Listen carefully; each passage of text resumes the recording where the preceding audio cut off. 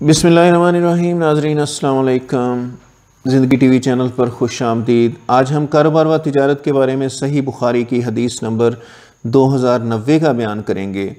नबी करीम सल्लल्लाहु अलैहि वसल्लम ने इरशाद फरमाया, अल्लाह ताला ने मक्का को हुरमत वाला शहर बनाया है। इसमें लड़ने की इजाज़त ना मुझसे पहले किसी शख्स को थी और ना ही मेरे बाद किसी को होगी। मुझे भी इसकी इजाज़त एक दिन के सिर्फ़ चंद घंटों के लिए मिली है।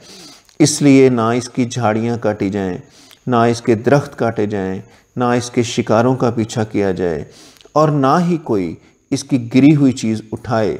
स्वाय उस शख्स के जो उस गुमशुदा चीज़ को उसके मालक तक पहुँचाए।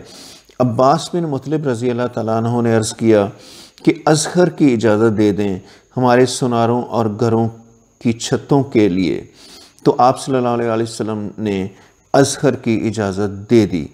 उक्रमा ने कहा, क्या तुम्हें मालूम है कि शिकार का पीछा करने का क्या मतलब है?